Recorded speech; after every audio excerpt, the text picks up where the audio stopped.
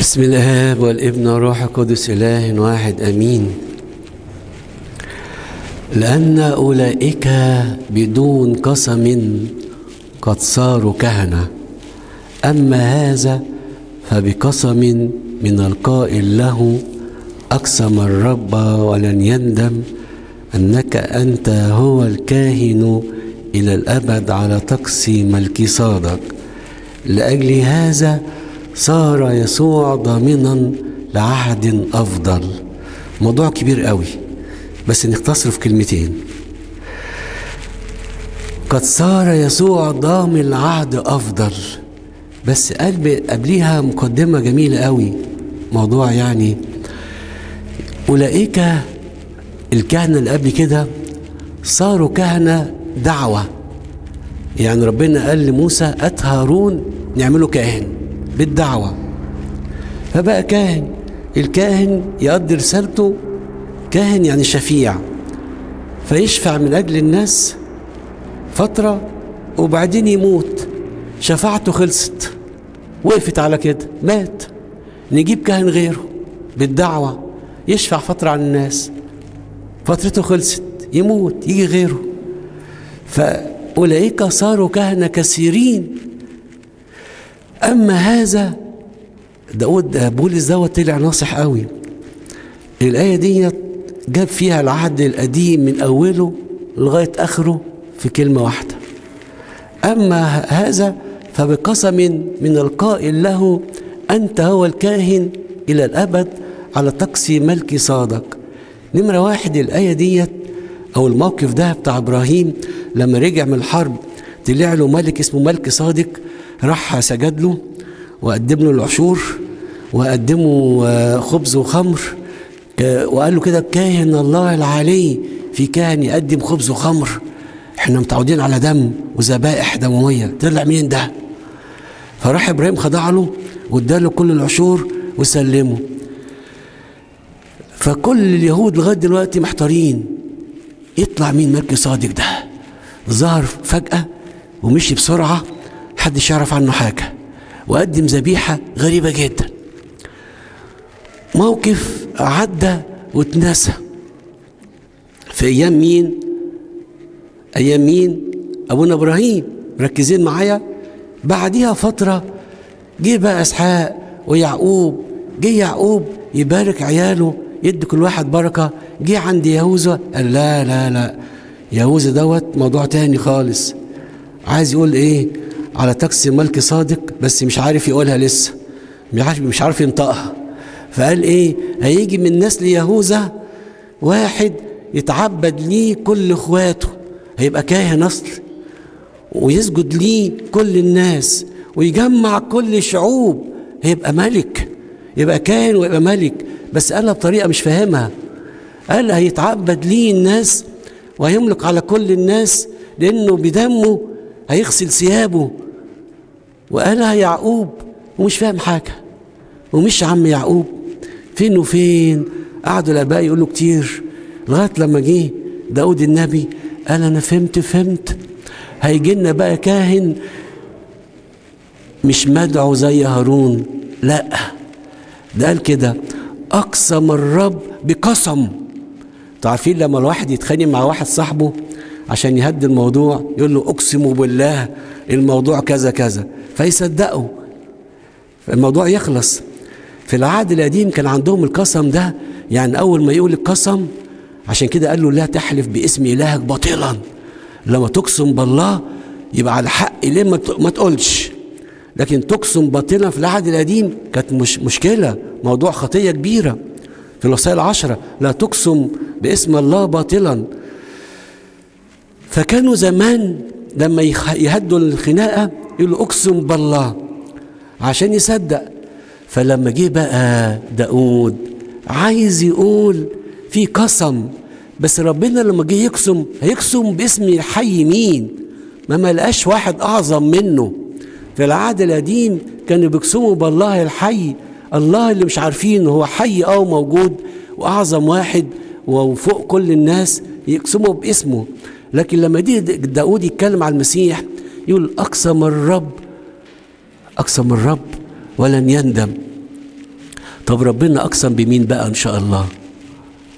لما يقول أقسم فالآباء حطوها جنب الحتة بتاعت إيه؟ أبونا إبراهيم لما سمع الكلام وجاهد وبقى إنسان بار وقدم ابنه فراح ربنا قال له إيه؟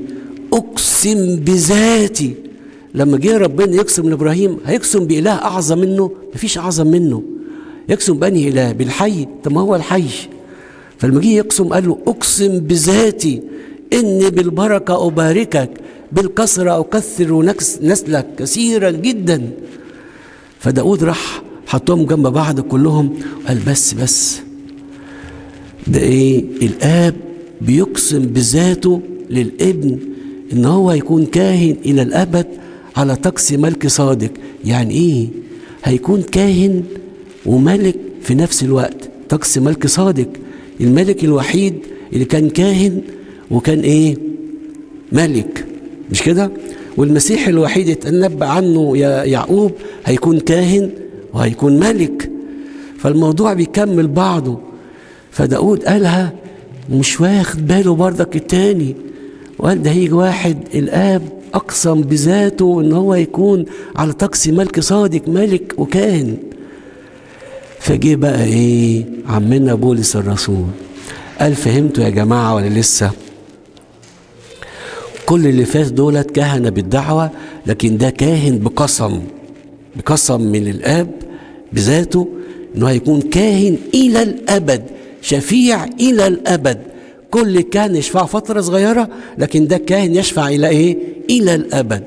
عشان كده قال له على طقس ملك صادق فهمها بولس بقى الرسول قال خلي بالكم دلوقتي قد صار قد صار لينا عهد أفضل. قد صار لي عهد أفضل بدأنا عهد أفضل من كل اللي فات. قد صار يسوع ضامنا لعهد أفضل. أصبح ربنا يسوع الشفيع بتاعنا دوت الكاهن الحلو ده اللي نزل من السماء وخد شكلنا وصعد تاني بجسدنا للسماء. صار شفيع قد صار يسوع ضامنا ضامنا كلنا بدمه. لعهد أفضل يشفع من ساعة ما اتصلب على الصليب ومات على الصليب. بدأ يشفع بدمه وتجمع كل المسبيين بدأ يقوم الموتى ولغاية دلوقتي دمه على المسبح يشفع يطهر ويخلص وينقي ويقرب ليه ويضمهم في حضنه تعالى يا ابني تعالى يا بنتي تعالوا تعالوا في حضني. صار يسوع ضامنا لعهد أفضل بمقدار ما هو أعظم من كل اللي فات. حتة جميلة كل دوت قلته عشان أوصل للحتة اللي عايز أقول لكم عليها دي. قد صار يسوع ضامنا لعهد أفضل. يسوع ضامن يدخلك الملكوت ويدخلني الملكوت. ضامن بدمه. بس عايز جهاد. يسوع يضمني يرجعني حتى لو بيت زي الابن الضال يضل يرجعني لبيت أبويا. ضامن. يقدر يرجعني. بس عايز جهاد عايز واحد يقول أقوم الآن. يسوع صار ضامن العهد أفضل. يحارب عننا الشياطين وينتصر. بس عايز واحد يعمل اللي عليه يرد على الشيطان. مش الشيطان يحاربه وإحنا متنحين كده نقول له أيوه أي ما تضربش قوي كده يعني. ما تحاربناش قوي كده. ما تقول حاجة. قول حاجة. المسيح لما كان الشيطان يحاربه كان يجيب له آية من الإنجيل يجيب له آية من الكتاب المقدس يعني. يقول له قول له يرد عليه. أنت بتقول غلط. كلامك مش مظبوط. فكان بيدافع. فيسوع ضامنا لعهد أفضل يقدر ينتصر بالنيابة عننا وفي حربنا ويدينا النصره والغلبة. بس اعمل اللي عليك. يسوع صار ضامنا لعهد أفضل. هيسقينا ماء أفضل من ماء السامرية.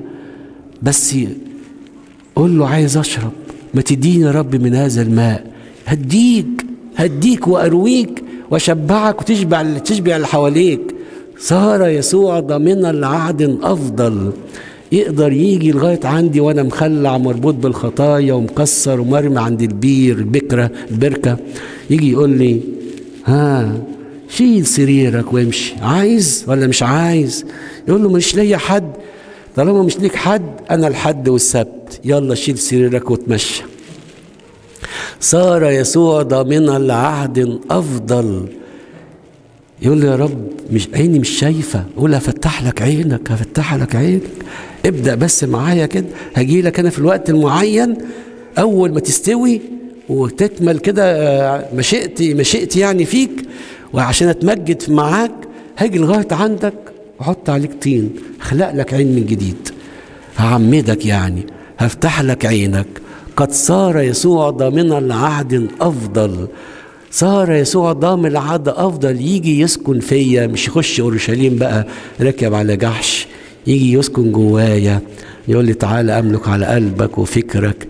قد صار يسوع ضامنا لعهد أفضل بمقدار ما هو أعظم من كل اللي فات.